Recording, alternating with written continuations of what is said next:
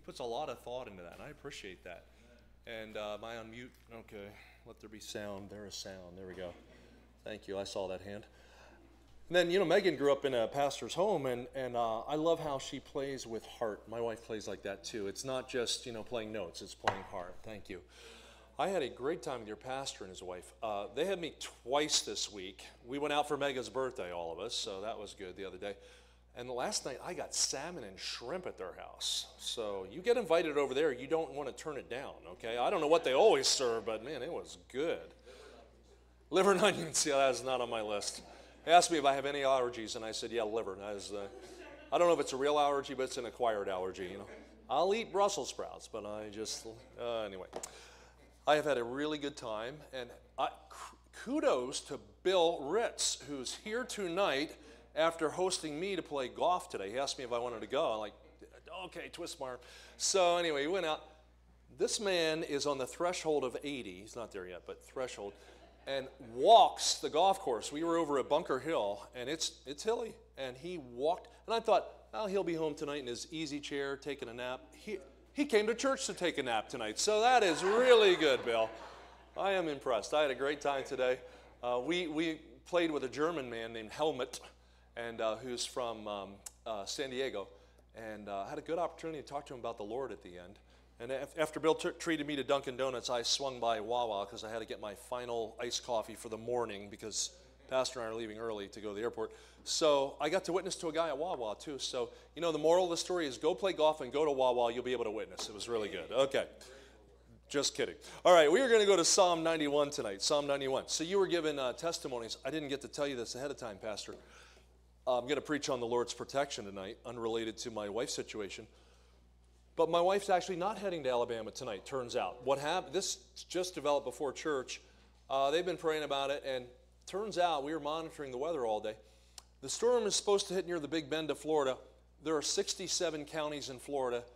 Every county but three is under a hurricane warning, and Escambia County, where Pensacola is one of the three in the entire state, not under a hurricane warning. Hallelujah. So they're going over to my nephew's house tonight, and they'll, they'll go to church, and then they'll go to my nephew's house and spend the night there. So I'm excited because I'll get to see my wife tomorrow, which is a great idea. And uh, so I'll be with her and then fly back to Philly and out to Harrisburg on uh, Saturday this week, preach in Williamsport, PA next week, fly back out of Harrisburg and Philly down to Pensacola the next week, I'll be in uh, North Philly, um, uh, Buckingham, PA, near Doylestown. Preach there, fly back down the next week, fly out to Pittsburgh, preach in Clymer, PA, fly back, and then I end up in um, Stonewood, West Virginia, which is near Bridgeport, that area. And uh, that'll be my last meeting away from home. And then I have one in Fort Walton Beach, which is a commute from Pensacola for me. So, anyway, that, that rounds out my year and then we start up again and do it next year. So uh, thank you for praying for us. We have I have a lot of flying to do, and my normal thing is on the ground with my family with a trailer, and uh, hoping to have that some closure on that. So anyway, thank you for praying for us. All right, we're in Psalm 91. I don't know if you know that the, the Greeks had this habit of creating gods in their own image. I might have mentioned this the other day. And you know, we know that the truth is we were made in God's image. But if people don't know God, they tend to fill the void with something, right? And so the Greeks had this habit of creating gods in their own likeness, usually with supernatural human strengths, but also the inherent human weaknesses. And so they had lots of gods, and you know, Venus and Apollos and others. But one of the gods who was allegedly adored by all the others was a god named Pan. Pan means all. And so that he was named that because apparently they all, in fact, the humans adored him allegedly. You know, this is their mythology. Pan was half goat, half human. A torso of human being, uh, lower region of the body, limbs and all of, uh, of goat. And he was called the shepherd god. He was supposedly the god of the forest and the fields. He was licentious, he was congenial, and he was often mischievous, according to their tradition.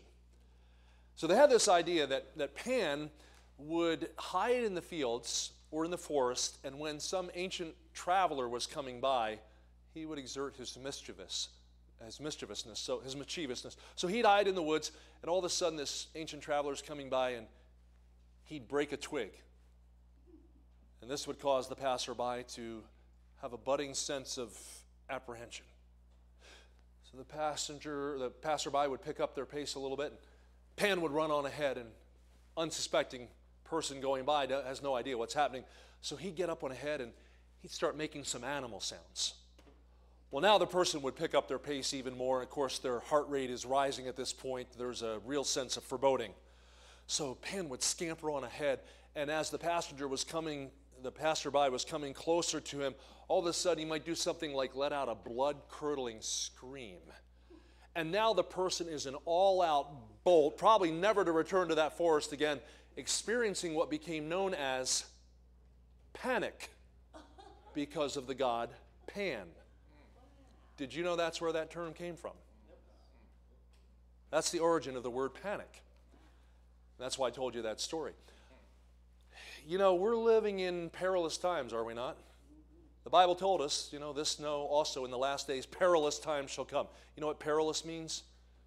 Injurious, harmful, risky. Are we living in those times? But I want to tell you something although all the world is falling apart, God tells us be careful for nothing. Thou will keep him in perfect peace whose mind is stayed on thee.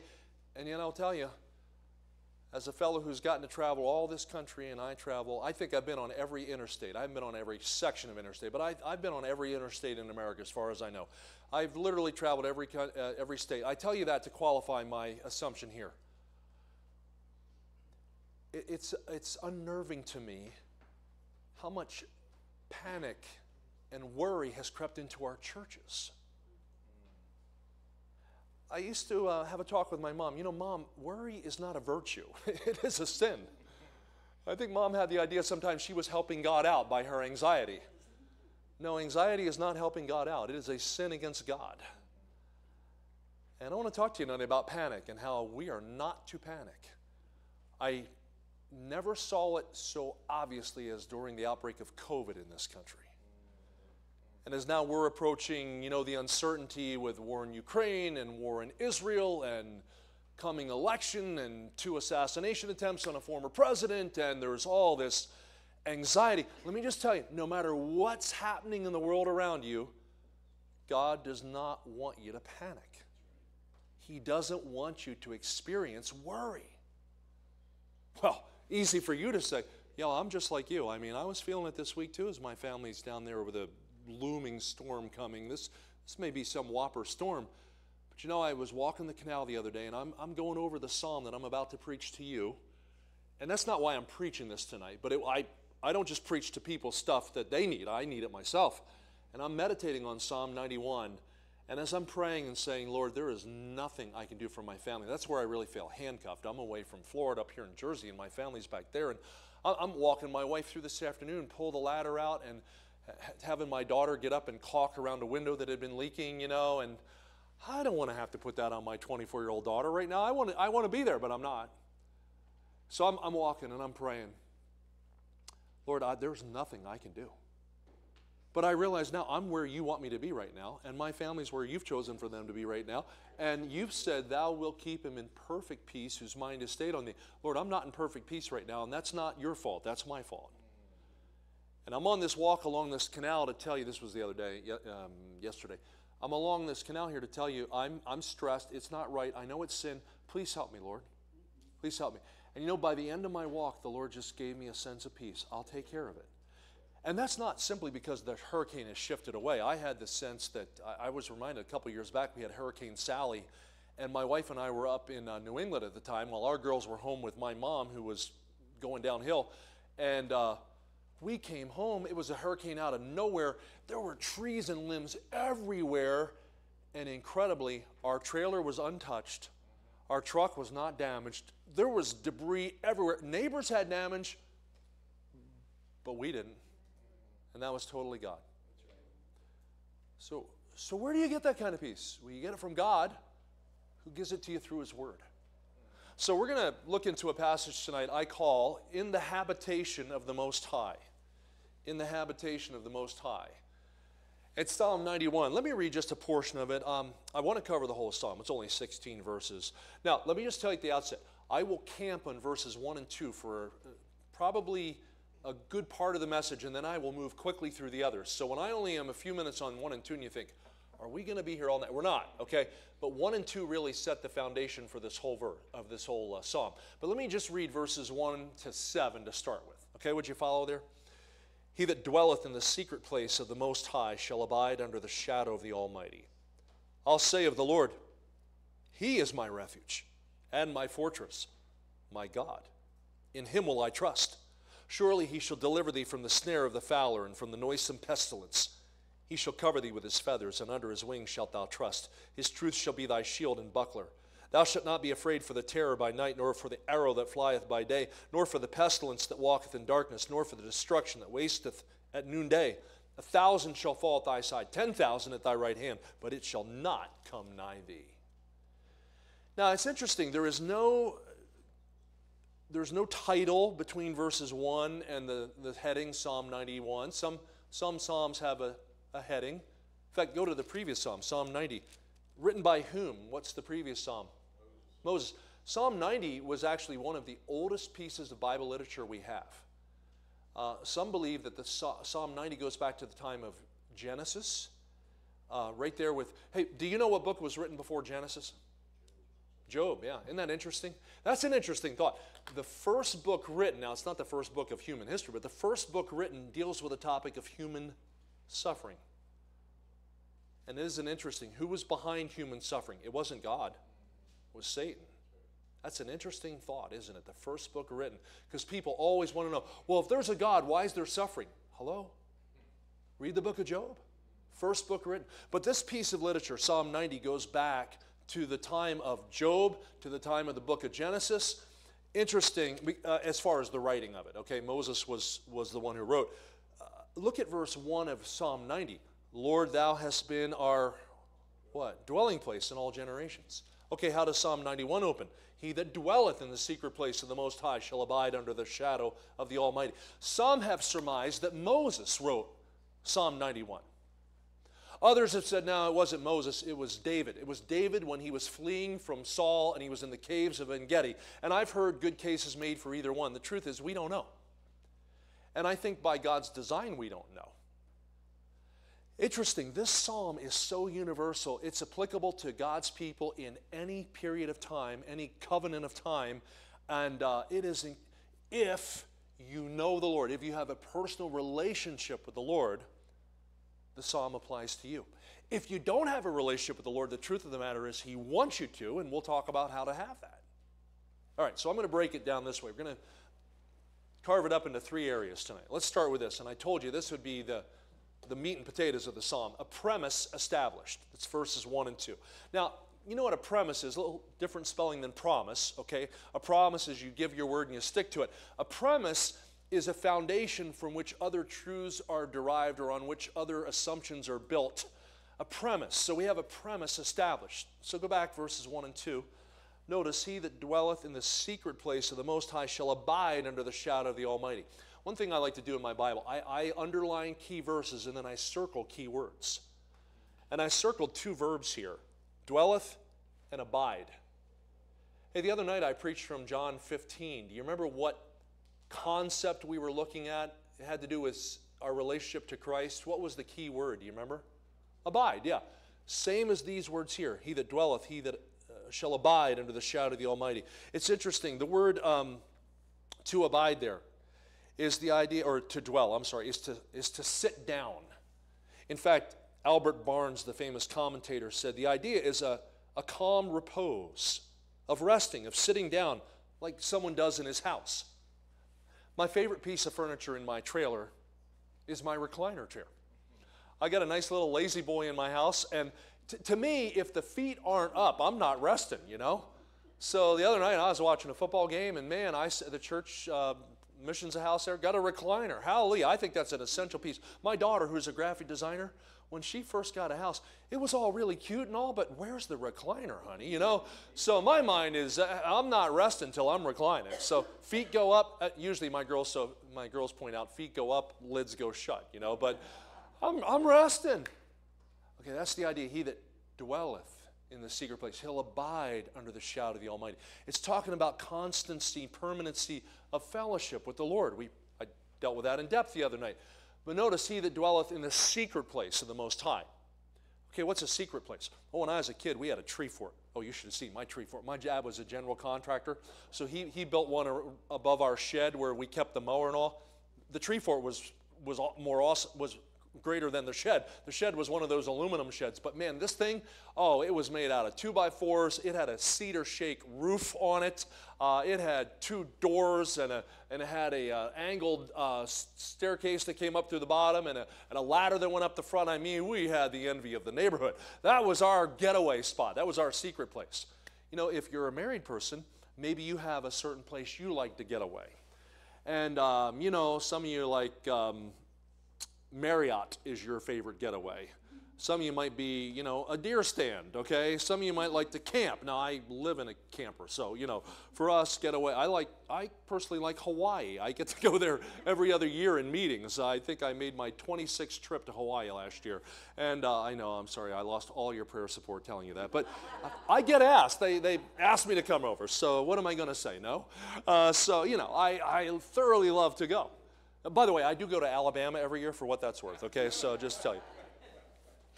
Uh, he, to dwell is to remain in, it's to be constantly abiding in the secret place. In fact, I jotted this down. When it comes to um, this idea of a premise established, personal time with God is prioritized. You can make that a letter A if you like to make your outlines nice and neat. Personal time with God is prioritized here. I mentioned last night, you know, or two nights ago, uh, yeah, last night too on meditating, we, we need daily time of interaction with God. I was talking with uh, Josh and Megan ate at their house tonight and saying, um, you know, what have, what have you learned? What are some life lessons you've learned over the years? And one of the things Megan said was, as a kid, I grew up and dad was always, make sure you have your devotions, make sure you have your devotions. And she said, you know, when I was younger, it's like, okay, we got to do the devotions. But she said, I realized it's essential to my relationship with God. We talked about as married people, you know, I'm, normally I'm with my wife all day long. We're in the same trailer, we go to church together at night, but there are times we'll sit up against the, the bedboard or the headboard of the bed, and now we really have to talk because although we've been together, we haven't communicated. 31 years of marriage, I will tell, I love Angela more than I ever have in my life. Our marriage is wonderful. I love her. But one of the keys is we have to communicate. And if you're married, you know, you got to make time to communicate. You don't just communicate because you're in the same room together. You might feel like you're on the same wavelength, but have you ever talked and you realized, I was not even realizing that she was thinking this? Okay, that's why the Lord and I were having a talk along the canal yesterday. Because I said, Lord, I know I'm not right because I'm stressed right now. Dwelling in the secret places, you get alone with God, you communicate, you talk to the Lord. I love uh, Ron Hamilton's song called My Quiet Time. He said, Before I start each day, there is a special place. I love to get alone and seek my Savior's face. I find wisdom in His Word to instruct me in His will, and I hear His gentle voice say, My child, be still. Yeah, my quiet time alone with God each day. You and I need it. And that's what the psalm prioritizes. So there's personal time with God prioritized, but then notice there's protection from God promised. Look at the second part of verse 1 He shall abide under the shadow of the Almighty. In fact, Jim Elliot wrote a, a book called Shadow of the Almighty. It's one of the more influential books I've read in my life. Jim Elliot, uh, the missionary to the Auca Indians in, in um, Ecuador, his wife Elisabeth Elliot. Uh, authored Through Gates of Splendor, another classic. If you've never read it, you ought to read it. But uh, Shadow of the Almighty, based on this particular psalm. Verse 2 I'll say of the Lord, He's my refuge, my fortress, my God, in Him will I trust. Okay, think about it. He's my refuge. I think I mentioned this the other day, but what's, what's something you can't do at a wildlife refuge? Can't hunt, yeah.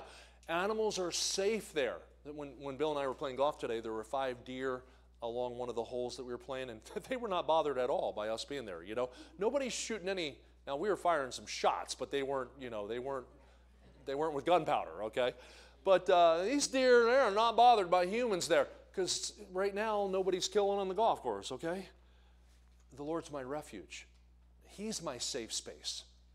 it's, it's amazing to me. We, we live in a culture, people are snowflakes. I mean, I'm sorry, but it is unbelievable. In fact, I, this, this is an aside, but there's a reason I'm telling this aside. I, I heard a fellow interviewing a uh, modern psychiatrist recently, recently, and she was, she was conservative, and he was saying, What is, what is um, the cost we're seeing because of the absence of fathers in the home in our day?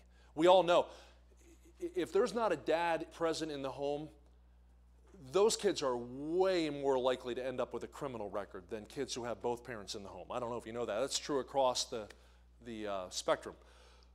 And she said, Oh, she said, definitely the, the, the, father's presence in the home is so important. Oh, I know. I was, I, I was listening to Dan Bongino talk about this.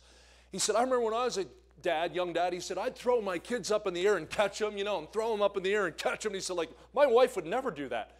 She said, exactly the point. She said, men and women interact differently with kids. And she said, because moms don't do that, kids don't grow up with a sense of risk and, and, and uh, overcoming your fears. Did any of you, your dad say, okay, jump to me, catch you? My dad did that to me all the time. Like, I'll catch you, go. And you're like, no, my dad didn't do that. Well, you know what? I, I survived.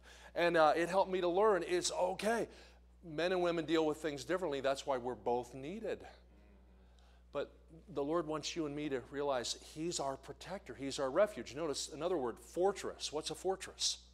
A stronghold, a fortification. He's our God. Sometimes we're so used to using that term, but what makes God different than us? I mean, you think a zillion things make God different from us. Yeah, but among others, Almighty, yeah. He's omnipotent, He's omniscient, He's omnipresent. We're not but He is. At that point, I studied it out, I was ready to move on, but I cracked open a commentary from John Phillips, and I like Phillips a lot, and he's got some really good in- insights. And I would not have noticed this had I not seen this in the writings of John Phillips. This is not original with me, I want to give credit. But John Phillips points out that in verses 1 and 2, there are four distinct names of God that are noted. It was so transformative to me, I want to share it with you. Uh, notice here he says in verse 1 He that dwells in the secret place of what? Of whom, I should say? Of whom? Yeah, the Most High. Okay, here's the first of four names used. You might want to jot these down under protection from God promise. Just put a little bullet and write Most High. The Hebrew name, I'll just spell it for you, the English equivalent, okay? It's capital E L Y O N, Elyon. E L Y O N, Elyon. What does Elyon mean? Literally means possessor of heaven and earth. He's the most high. You know, uh, like if you ever rented property from somebody, you, you don't make improvements on the house unless you talk to whom? The owner, the landlord, right? Okay. He's the most high. So the word possession comes into view here. He owns everything. He's the most high. There is, you know, you don't go to God and say, hey, I want to talk to the supervisor. there is nobody above God. Have you ever called, like, to dispute a credit card charge or whatever? And you know how that goes. And you're like, can I just talk to a living human being? Okay. And you finally get a living, breathing being, but they're on some other continent, and you realize this is not going to go well. And so you finally say, look, could I just talk to a supervisor. You've been, I, obviously, I've been there, right? Okay. You, you don't have to do that with God. You can't go higher than God. And by the way, there is nobody more empowered or powerful than God. So he's the most high, possessor of heaven and earth. But then notice this end of verse 1 uses another term for him shall abide under the shadow of the Almighty. The term Almighty is Shaddai, capital S H A D D A I. S H A D D A I. Shaddai. What does Shaddai mean? It means lavish provider. Provision is the thought here. Okay, think about um, we call him Jehovah Jireh, the Lord shall provide. He's the lavish provider.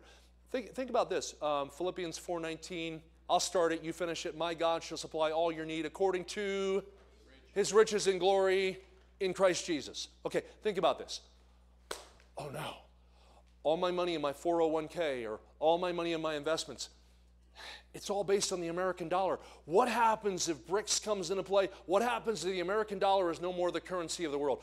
Oh, what about Bitcoin? What about cryptocurrency? Oh my goodness, I don't know if I'm going to have a secure future or not.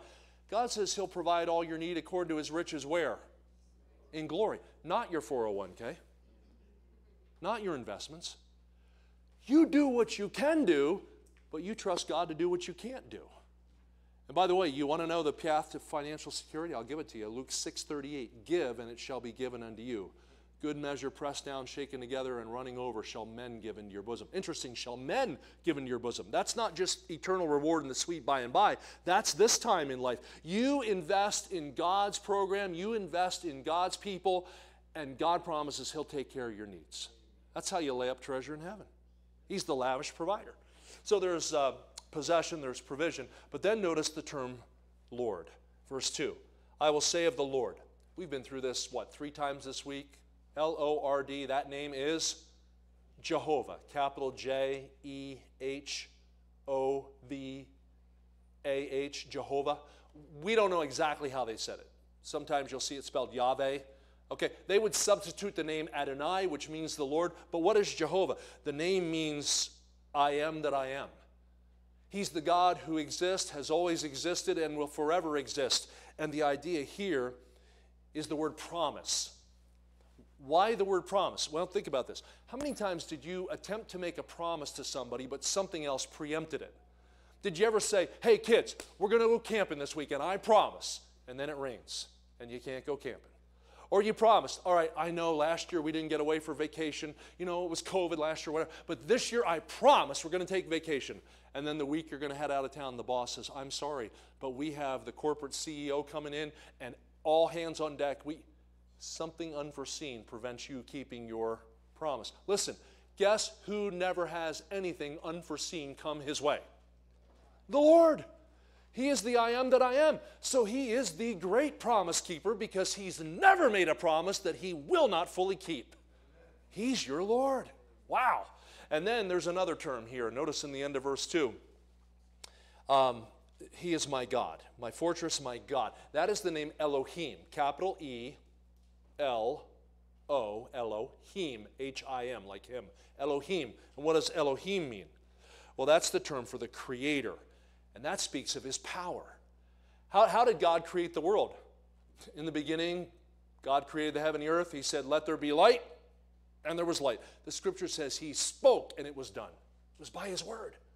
Okay, think about this. So we have we have possession, provision, promise, power, all wrapped up in the person of God. I would have totally missed that had I not seen that from John Phillips, but I will tell you that's worth the whole message tonight right there, and I can't even take credit for it. I'm just passing it on. But man, what a God we serve. That's the premise for this whole song. All right, we need to pick up speed. So go to verse 3. So we look at a premise established. Then we look at this, a picture enhanced. Look at 3 to 8 with me. Verse 3 Surely he shall deliver thee from the snare of the fowler, from the noisome pestilence. He shall cover thee with his feathers, and under his wings shalt thou trust. His truth shall be thy shield and buckler. Thou shalt not be afraid for the terror by night, nor for the arrow that flieth by day, nor for the pestilence that walketh in darkness, for, nor for the destruction that wasteth at noonday. A thousand shall fall at thy side, ten thousand at thy right hand, but it shall not come nigh thee. Only with thine eyes shalt thou behold and see the reward of the wicked. All right, notice a picture enhanced. Let's start with this. There's a bird analogy. And then I'll just give it to you. You can get ahead of me if you want here. There's a bird analogy and there's a battle analogy. Okay, there's an avian analogy and an army analogy. Okay, avian, eh, if you go to an aviary, what would be in the aviary? Birds, okay. So I could be technical and do aviary and army, but we'll go bird and battle, okay? So there's a bird analogy and there's a battle analogy. Now, interesting. When he says in verse 3, surely he shall deliver thee from the snare of the fowler. Okay, what is a snare? Another word for snare? A trap, okay. And this is not hard, okay, big, big, big hint here. What does a fowler try to trap? Birds, yeah, fowl, right, okay. Yeah, he'll deliver thee from the snare of the fowler and from the noisome pestilence. If you're a bird, what might be a threat to your well being? Well, certainly traps, but also disease. It's interesting. You know what noisome pestilence is? It's widespread disease. He'll deliver thee from the snare of the fowler, from the noisome pestilence. He shall cover thee with his feathers, and under his wings shalt thou trust. Heard about a missionary years ago. He was in Africa. He was in um, the plains of Africa. It was an arid area, grasslands, no trees around.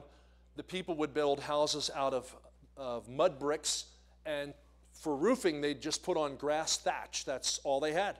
And they were poverty stricken. And so this man's trying to reach these um, African people with the gospel, and he said, dry season came and a horrific fire came through the grasslands and it burned up everything. And the village, you can imagine those thatch roofs burn up and then everything inside burn up. And these people who are already living in poverty, all of a sudden they are just trying to put their lives back together. And this missionary, he's, he's trying to reach them, but now everybody's just in survival mode. And so one day he said, I, you know, everybody's doing their rebuilding and all, and there wasn't much I could do at the time. And he said, I, I had a lot of time to pray and to think. How am I going to reach these dear people? He was out walking on the outskirts of the village and he came across a little nest. And on the top of this nest were the charred remains of a hen. This poor chicken had been burned. And he thought, man, everything was affected by this fire. And, you know, why do we do what we do? In, in sheer exasperation, he kind of kicked at the chicken's charred body with his heel of his boot. The chicken fell off the nest, but out from underneath scurried three living chicks. Startled him. And then it dawned on him. Those chicks survived because that mother literally covered them with her feathers. And then he had an analogy. One had to give its life so others could live. And that was the message he used to preach the gospel to those people. That's the picture there. He'll cover thee with his feathers. Can you think of any area that the Lord has proven to us that He's willing to suffer personal harm that you and I might be protected? The cross above all else, right? He'll cover thee with his feathers. That's the bird analogy. But then, right in the middle of verse 4, he switches. Now, you and I, we, would be, we'd be written up in school English class for mixing metaphors, but in the Bible, there were mixed metaphors all the time, okay? So you can tell your English teacher that. But uh, pick up in the middle of verse 4, he goes from the bird analogy then to a battle analogy. Look, his truth End of verse 4. His truth shall be thy shield and buckler. Okay, interesting. The word shield here, this is not like a Captain America shield. It's not like one of those round shields. This is one of those shields that literally went from head to toe, full length. You've seen depictions of ancient warfare where, like the Roman soldiers or the Greeks, they would have these giant shields that they literally would put side to side and they could create a wall. Okay, that's the term shield. And then um, he'll be thy buckler. Now, a buckler was a, was a uh, semicircle shaped shield. So what it would do is give you protection from anywhere in the front. Now, interesting, it wouldn't protect your back. But if you're making an advance, it would protect you from multiple angles up front. I mean, it would be like saying in modern vernacular, he'll be your body armor. Okay, that's the idea. He's going to be your shield. So that's part of the battle analogy. Then keep going in verse 5.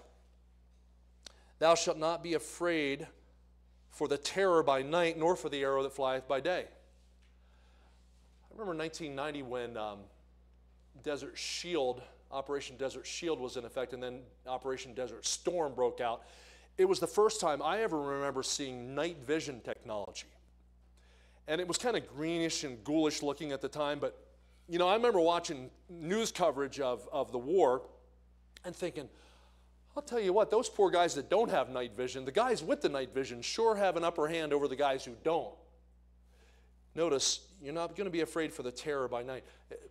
Battle in broad daylight would be terrifying enough, but fighting at night when you can't see what's coming your way? I thought about, you know, how about today assassins literally can take somebody out a mile away? Fighter jets can launch rockets from miles away and hit targets. Terror by night. Nor for the arrow that flieth by day. That'd be like today saying bullets flying all around you not going to be afraid for the weapons flying around you. Verse uh, 6 Nor for the pestilence that walketh in darkness. What's pestilence? Again, that's widespread disease. I read last year um, McCullough's book, 1776. It was about Washington at Valley Forge. Fascinating. If, if you're a student of history, and I'd, I'd recommend being one, those who do not learn from history are destined to repeat its mistakes. So I was reading uh, 1776 by McCullough last year, and he said, you know, one of the tragedies of Valley Forge was at the time, only about a third of the colonists were still in favor of seeking independence from England. Uh, it was not the public sentiment. Aren't you glad that the uh, minority won out? And uh, because a lot of the militiamen, their two year conscription was up, and, and it was not a national army. These were local militias, and they were going home. They, and Congress didn't have enough money to pay them. Oh, and by the way, back then, Congress didn't print money that it didn't have. Good idea. Uh, so they didn't, they had, you know, no shoes on their feet and whatever, and there was a real low ebb of morale going on at the time. But McCullough pointed out the most devastating incident that occurred at Valley Forge was widespread dysentery. There was just disease all through the camp. And Washington lost troops left and right with not even a shot being fired. If, if you study war at all, you'll find out that uh, the, the disease in the camp is, is just as much a consideration as the warfare of the enemy. God says, I'll protect you from that. Notice, um, nor for the destruction that wasteth at noonday. The obvious things you'd expect in broad daylight. Yeah, like destruction. What, if, what about things like weapons of mass destruction? I mean, today people think, oh man, some of these crazies out there, what if they ever decided to use their nuclear weapons? You know, you can live your life in fear or you can walk in the fear of God.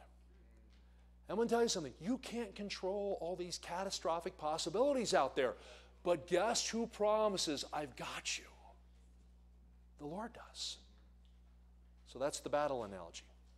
I love history, as you figured out, and I, I, one of the great examples of this comes from an incident in World War II. Psalm 91 is often called the soldier's psalm, and I delved into that. Okay, why is it called the soldier's psalm? It particularly became known as that during World Wars I and II, but I found a really compelling incident for it in um, World War II, the Battle of Dunkirk. Now, the United States had not yet joined the cause of the Allies. We were not in the war at that point. But the Battle of Dunkirk was on the beaches of France, and there was a large, a vast army that had been encircled and trapped at the beaches of Dunkirk, and it looked like they were days away from total annihilation. King George VI was, pres- uh, was uh, king at the time of England. Uh, that was Elizabeth's father. Might, he was Prince Albert, who became George VI. So Queen Eli- future Queen Elizabeth's father um, said to his subjects in England, in fact, to you know all around the British Empire, he he put out an appeal. India, um, Jamaica, you know, even Canada, even people in the U.S. Although we were separate from England at the time, he appealed to them: go to your churches and pray for a miracle. How often do you hear that from a government leader, right? Pray for a miracle. That, they knew it was bad. So people all over the world were praying. Well, God intervened. Listen to this. There were four distinct miracles that occurred at Dunkirk.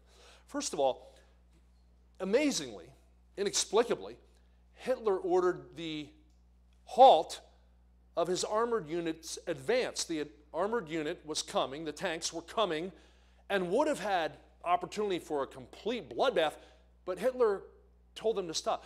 It's really interesting. You study World War II, you'll find out Hitler made a number of strategic blunders.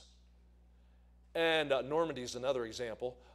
And I could point to other examples in history. The Spanish Armada, you know, and, and a storm comes up, and, you know, we could go into all kinds of acts of providence. But how did Hitler make these blunders? Well, providence of God. Now, there was a reason Hitler stopped the advance of his armored unit. Why was it? Well, there's another factor. Number two was an unprecedented storm had come in over France at that time. It was not typically the rainy season, but this horrific storm had come in. That prevented the German planes from flying, the Luftwaffe. And so, because the, the fighters could not fly, Hitler knew he had no air support for his armored unit, so he put that to a halt. But concurrent with all that, there was a third miracle. There was an unprecedented calm on the English Channel that narrow body of water between England and France. Now, think there's a raging storm going on over France, but there's an unusual calm going on over the channel. How do you explain that? And what was at the time the largest naval evacuation in history occurred during that time? There were naval vessels coming, there were fishing vessels coming, there were private pleasure craft coming, it was all hands on deck. Anybody with anything that floated was being sent to Dunkirk, and they were literally evacuating men. In fact, the numbers are staggering. I had to write it down. I, I, it was unbelievable. 338,266 were evacuated from the beaches of Dunkirk. 388,000. But there was one more miracle. There's a group of 400 Englishmen who were pinned down on the beach of Dunkirk and they were being strafed by German machine gunners, etc. And it looked like they were facing complete death. But all of these men had memorized the 91st Psalm. And they began to quote in unison He that dwelleth in the secret place of the Most High shall abide under the shadow of the Almighty. I will say of the Lord, He's my refuge, my fortress, my God. In Him will I trust. They went through the entire psalm. Interestingly, not one man of that 400 received a single scratch. They all survived and got off the beach. Now, I know when I tell that story, some people think, like, sign me up. You know, I'll, I'll, get a pendant, I'll wear it around my neck. I, I can imagine some guy nowadays, like, tattoo it on my bicep right there, Psalm 91. Look, we're not dealing with a lucky rabbit's foot here. But it is a promise from God for protection. So that brings us to the last, because I'm sure you've had some of these thoughts in your mind, and I want to give you a promise elaborated, verses 9 to 16. Because I'm sure as you're hearing that, you're thinking, yeah, but I've known people that died in battle. I remember uh, I was at uh, Maranatha Baptist Church in Shelby, North Carolina, a couple years ago, and Brother Larry Brubaker came to hear me, and he, he and Ron Comfort traveled together for years, and uh, Bruce a good friend. And he said, Hey, Rich, have you ever heard the story of Glenn Shunk? And I knew the name, but I didn't know Glenn Shunk. He was an evangelist. I said, No, Brew, I haven't. He said, I want to give you this. And it was the life story of Glenn Shunk. I, th- I they may have done it on Unshackled. I can't remember. But uh, it was a life story. And so I'm listening to this. And Glenn Shunk was a Baptist evangelist. And he, um, he had been uh, drafted into World War II. And here he is living out his faith. He would kneel by his bunk every night and pray, and he had guys throw boots at him and mock his faith, you know. But he said it didn't matter. I was committed to the Lord. He said, but I was, I was assigned to be a machine gunner. And he said, it's really interesting. As the war went on, he said, everybody wanted to be in my foxhole. Because God let me survive battle after battle without a scratch. He said, I had bullets flying all around me. He said, I had men dying all around me, but for God's own reasons, not a single scratch. He said, I had guys blown up in my foxhole. But he said, I survived. We said most of the time, both of us, or all of us, would survive. And he said, everybody wanted to be in my foxhole. He said, now toward the end of the war, the Lord allowed me to take a piece of shrapnel, I think it was. And he said, I got honorably discharged. But he said, God used that to bring me back to the States and commence my ministry. He said, but it was like I was under perfect protection until God said, time to go home. Interesting. Okay, so look at verse 9 with me. A promise elaborated. Uh, verse 9. Because thou hast made the Lord, which is my refuge, even the Most High, thy habitation, there shall no evil befall thee, neither shall any plague come nigh thy dwelling. Now, if you go back to 7, he says, A thousand will fall at your side, 10,000 at your right hand, not come nigh you. Statistically, everybody, everybody might be dropping dead, but I'm going to protect you, he says. What about verse 8? Only with thine eyes shalt thou behold and see the reward of the wicked. You say, what does that mean? You probably know. What's, what's the reward of the wicked? I'll give you a hint. The wages of sin is, yeah, only with your eyes you'll see the reward of the wicked. And then verse 9, because thou. Now, you know the word thou in Scripture is singular, right? Do you know even in King James Day they didn't talk like that? Do you know that? That was literary. If, if you read the preface to the King James, it says, Unto you, O king, be it known. How many kings were there? Only one. They used the word you. Yeah, that's conversational English. But they would distinguish between thee and thou or ye and you because, you know, like um, in English, when we say you, am I talking to you or am I talking to you? Up here, we say yous guys, right? How do they say it in the South? Y'all. Okay, how do they say it in Illinois and central Pennsylvania? Yins. Okay, what's yins? I guess it's you individuals. I don't know, but you know, so y'all, yous, guys, yins. Okay, that's plural, but thee or thou, that's singular. Okay, now notice here, because thou, because you as an individual, because thou hast made the Lord, which is my refuge, even the Most High, thy habitation, there shall no evil befall thee. This is an individual relationship. This is not a promise just because you're part of a church. It's not a promise just because one was a member of the nation of Israel. It's an individual relationship. Let me tell you, if you don't have an individual relationship with God, you are not promised this protection. You've probably heard of unsaved people that made all kinds of promises to God. I remember reading the story Unbroken by Louis Zamperini. Fascinating book. And Louis Zamperini was a world renowned athlete, but he was gunned down during World War II and taken to a Japanese prison camp and tortured relentlessly. Well, while he was drifting in a raft for over 40 days, he and, he and some other guys were crying out for help and help. And he promised, God, if you save me from this, I'll serve you. And interesting, he went through horrific torture. He ended up going to the first Billy Graham area wide meeting in Los Angeles, California, back when the, the, song leader at that one was not Cliff Barrow, it was Al uh, Smith. And in 1949, and Louis Zamperini got saved the week of Graham's first conference out in uh, Los Angeles, California. Interesting. But like a lot of guys, you know, Lord, if you get me out, now he wasn't saved but God in His mercy kept him alive. If you're a child of God, you can claim this promise. Because thou hast made the Lord, which is my refuge, even the Most High, thy habitation, there shall no evil befall thee, neither shall any plague come nigh thy dwelling. Now, I'm going to elaborate because I, I, can anticipate where thoughts are going. Let me break it down this way. First of all, there's a promise of exemption from evil. Have you ever heard the name Corrie ten Boom? Okay, Corrie ten Boom, famous for uh, what book? the hiding place. What, what were her family known for? What heroics did they participate in? Hiding Jews during the Nazi invasion of Holland. Do you remember that story? So they had a hidden room in their house where they would, at their own peril, they would hide the Jews. Now, Corrie and her family were not Jewish, they were born again Christians. But they, they knew this is God's people, we're going to give safe harbor to them, and they put their lives on the line. Well, Corrie's dad would constantly quote with his family Psalm 91. Now, Corrie's mom had died before the war, so she wasn't around, but it was Corrie, her sister, her dad, there was a brother, I forget how many, but um, all of them knew at any time their lives would be at risk, but their dad would constantly lead them in quoting this. Well, for over a year, they safely gave protection to Jews. Eventually, somebody ratted them out, and they, I think it was a family member, in fact, distant family, and they ended up being uh, arrested and she said, I'll never forget, we went to the, the uh, jail there, I think it was in Amsterdam. And she said, We're all standing around together, and it was the last time we would see each other. And she said, As they're processing us, my dad gathered us and said, Children, come around. And in unison, we began to quote Psalm 91. Because thou hast made the Lord, which is thy, my refuge, even the Most High, thy habitation, there shall no evil befall thee. You know the amazing story? Corrie's dad was taken to a men's camp right after that. Corrie and her sister Betsie were carried off to a women's camp.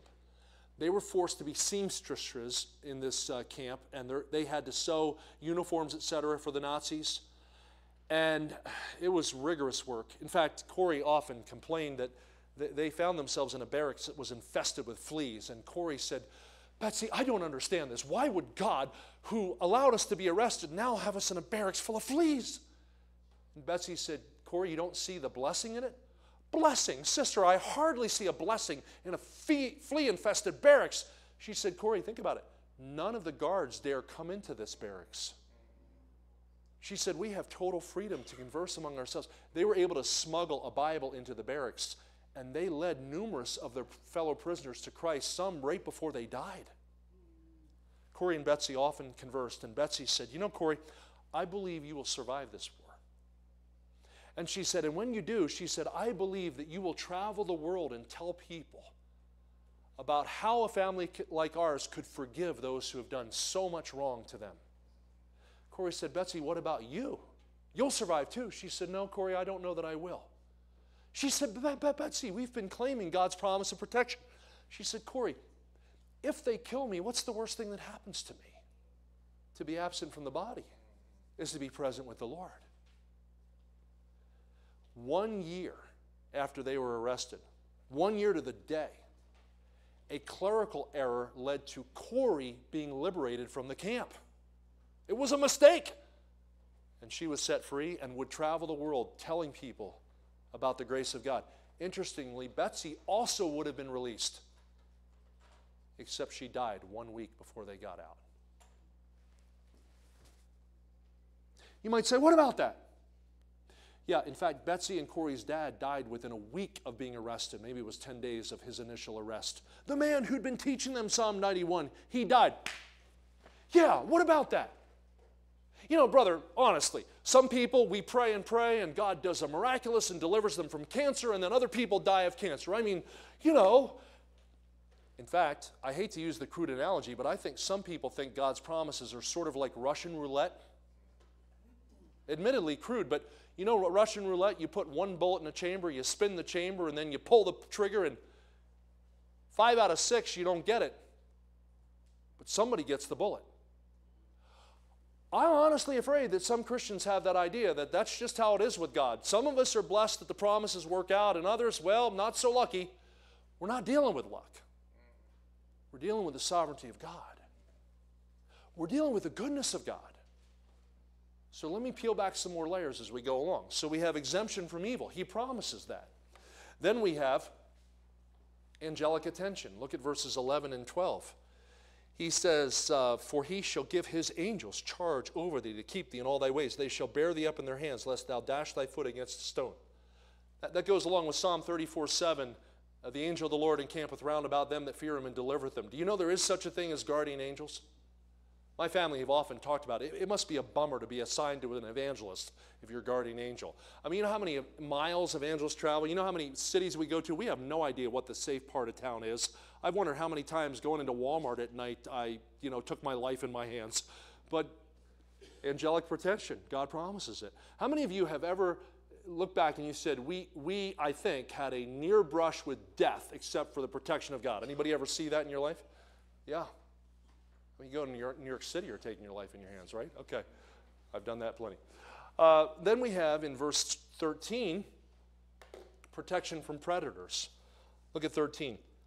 Thou shalt tread upon the lion and adder. Okay, an adder is a cobra, poisonous snake. The young lion and the dragon shalt thou trample under feet. So these are venomous, poisonous beasts. I remember hearing the story about David Brainerd. David Brainerd's potential father in law was the president at Princeton Seminary at one time, Jonathan Edwards. You probably know that name. David Brainerd was going to marry Jonathan Edwards' daughter, but he came down with tuberculosis. David Brainerd was a mighty intercessor. He was a man of prayer, and his focus was on the American Indian, the indigenous American, Native Americans. And so David Brainerd knew these people were very um, spiritistic in their orientation. They were very skeptical about white man religion. So, you know, if people won't let you talk to them about God, what do you do? When you can't talk to men about God, you can always talk to God about men. So that's what Brainerd did. He would get out in the woods and he would pray for hours. Well, one day he was praying, it was autumn, the leaves had fallen, and there was a tribal chief with his men that they were planning to ambush David Brainerd. So they caught him. They knew he was a man of prayer. They knew he'd get alone. There'd be no one to help him. And the chief was there, and his men had drawn their bows. They were ready to fire arrows into David Brainerd, and all of a sudden the chief said, Hold fire. He noticed behind David Brainerd a, a rattlesnake had coiled up, it was in a strike position. The man said, the chief said to his braves, great spirit of sky may do work for us. So he watched as the snake coiled, and then, without explanation, that snake released its coil and slithered off into the woods. The men looked at their chief. He said, Great spirit of sky may have protected this man. A couple days later, Brainerd wandered into their camp and said he wanted to speak to the chief, and the chief granted him a hearing and when the chief told him what happened, Brainerd said, I did not know that the snake was there, but I do know that my God has afforded me protection because he wants you to hear the message. And eventually, the chief and all his men came to saving faith in Christ. In answer to prayer and through the protection of God. Finally, there's one last area, and I'll draw all this together for you. It's deliverance for the devoted. Look at verses 14 to 16. Because thou hast because he has set his love upon me, therefore will I deliver him. Okay, notice this is a promise for the one who loves God. I will set him on high because he hath known my name. You know, if you're in a time of flood, you want to move to high ground, right? I'll set him on high because he's known my name. Verse 15, he shall call upon me, I will answer him. I will be with him in trouble. I will deliver him and honor him. With long life will I satisfy him and show him my salvation. Okay, so there he says he'll, he'll satisfy you with long life. Betsie Ten Boom died in camp. Yeah, she's not the only. I mentioned earlier the name Jim Elliot. You remember Jim Elliot and five young missionaries went to reach the Auca Indians? There was Jim Elliot, Nate Saint, the missionary pilot, Ed McCully, Pete Fleming, Roger Youderian. Finally, they had been trying to reach the Aucas and they decided now's the time. And they, they devised a system where they could land their Piper plane down on a sandbar and, and they were going to go out and speak to the tribesmen. The day had come, and that day, all five of those men were thrust through with spears. They were killed. They were young men. They had wives, they had little children. Interestingly, do you know that those men were armed? They had sidearms, they had firearms with them. But they had agreed if we are attacked, we will not fire on our attackers because if we die, we go to heaven. If they die, they go to hell. They knew the risk they were taking. And when they were thrust through with spears, they willingly died so those men would not die in destruction. You may know the story.